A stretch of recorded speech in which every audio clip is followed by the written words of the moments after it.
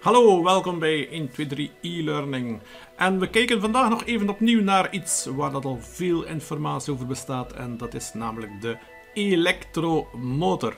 Nu, ik heb hier de elektromotor eh, bij mij liggen. En natuurlijk is dan de eerste vraag, welk soort motor is dit? Nu, ehm, als we al even kijken naar wat er allemaal is. Eerst en vooral, is er een condensator aanwezig? Oh ja, wat was dat weer, die condensator? Als je op een motor ergens een condensator ziet zitten, en ik toon hem eventjes hier op de camera. Als je dus een condensator ziet zitten op de motor, dan is het een monofasige motor. Die werkt dus gewoon op twee fasen, oftewel een fase en een nulleider. Nu, dit is hier niet het geval, dus het is sowieso al geen monofasige motor. Maar het zou ook nog een andere monofasige motor kunnen zijn, dat is de seriemotor. En als we bij een seriemotor kijken, dan zouden daar ergens kooltjes moeten kunnen geplaatst worden. En uh, ik zie hier nergens uh, plaats voor kooltjes. Dus met andere woorden, het is ook geen seriemotor koolborsteltjes. Dus in het mooi Nederlands. Wat blijft er dan nog over? Wel, we hebben hier een aantal aanwijzingen dat het hier gaat over een driefasige motor. En een van de aanwijzingen is natuurlijk het snoer. Het snoer heeft in dit geval drie geleiders plus een uh, aarding. Maar laat u niet misleiden door die blauwe draad, want dus wanneer dat je een pure driefasige draad of kabel hebt, dan uh, zal die nulleider daar als het ware aanwezig zijn. Dus uh, die wordt dan als fase gebruikt in dit geval. Dat is uh, een van de uitzonderingen waarbij dat je dit kan doen. Een ander iets die zorgt dat het ook een driefasige motor is, is natuurlijk het kenplaatje. En het kenplaatje, dat toon ik eventjes hier. Zo. Het kenplaatje, dat ziet er zo uit. En wat daar opvalt, dat is dat er daar staat dat het een motor is die op 230 en 400 volt kan werken.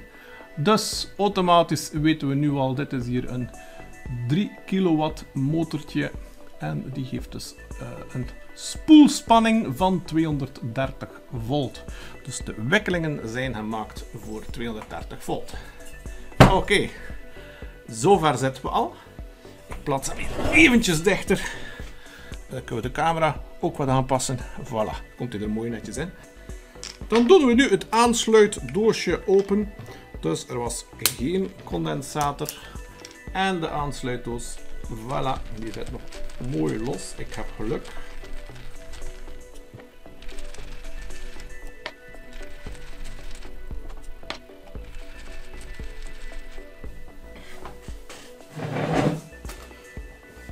Zo, wanneer dat we nu kijken naar hoe dat de fabrikant, um, hoe dat de fabrikant zijn draden genummerd heeft, zie hier U1. We zoeken naar de andere U en die zit hier, kijk, U2. Dus hier ligt een wikkeling tussen. Hetzelfde geldt voor hier, de V1 en de V2. En de W1 en W2. Wat is er nu allemaal mogelijk? Volgens het kenplaatje kon deze motor werken op 240 en op 400 volt. Laten we beginnen met die eerst op zijn 3x 240 volt te laten werken. En dan steken we de plaatjes zo. Ik zal ze niet vastzetten, omdat we ze toch moeten direct weer verplaatsen.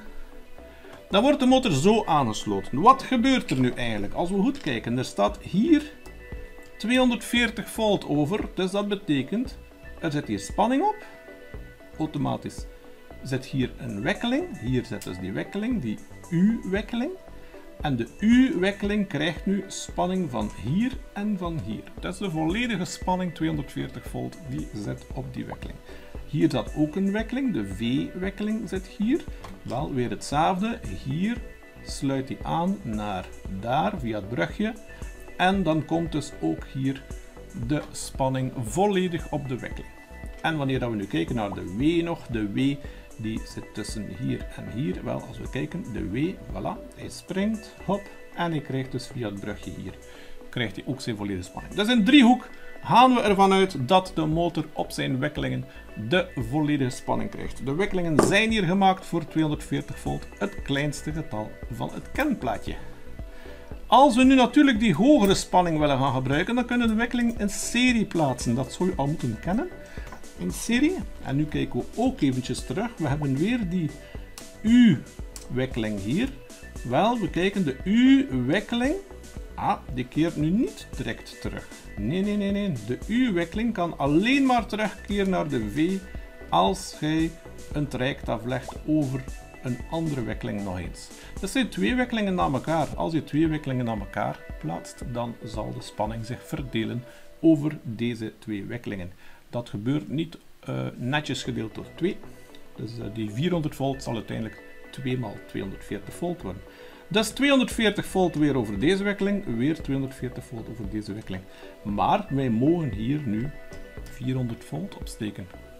Ook hetzelfde geldt hier, wanneer dat we goed kijken, wat gebeurt er eigenlijk? Dus er loopt hier een wekkeling, dat hebben we dat juist ook gezien. Er loopt hier een wekkeling. Oké, dus we starten hier, we nemen de eerste wekkeling. Oké, en we gaan bijvoorbeeld naar de deze gaan kijken. Dus dan passeert hij via deze weg. De tweede wekkeling. Dus weer om twee wekkelingen in serie. Dus de spanning verdeelt zich weer over twee wekkelingen. En op deze wijze kan je dus uiteindelijk een motor in ster schakelen, zo wordt dat gezegd, in ster schakelen, waardoor dat de motor in staat is om toch met een hogere spanning te gaan werken. Verder natuurlijk nooit vergeten voordat je aan een motor werkt van even aan zijn as te draaien. En als je een klein beetje ervaring hebt op dat vlak, zal je heel snel voelen of dat deze as zeer soepel draait of niet. Want als de motor sowieso in rusttoestand al niet soepel draait, dan mag je ervan uitgaan dat je de rollagers zal moeten vervangen. Kijk ook eventjes zoals dat je hier ziet een gebruikte motor. Ehm, of dat ook heel het ventilatiegedeelte in orde is. Dus dat de ventilatie correct kan gebeuren. Want de statorwekkelingen die worden niet alleen gekoeld met die vinnen, maar daar wordt ook lucht doorgejaagd. En uh, omdat ze daar lucht door gaan jagen, is dat de bedoeling om die te gaan afkoelen, de motor. Dus vandaar altijd kijken dat alles netjes vrij zit. Voilà, nog even samenvatten. De wekkelingen liggen dus zo, zo, zo.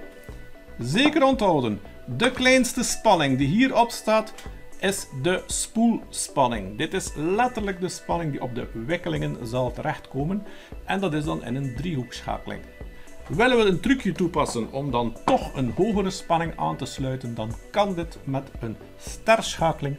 In dit geval zal de motor dan zijn spanning verdelen over twee wekkelingen. Voilà, hopelijk hebben we weer wat bijgeleerd. En dan vergeet je niet te drukken op het knopje subscribe, want dan eh, kan ik verder met de volgende filmpjes. Bye bye!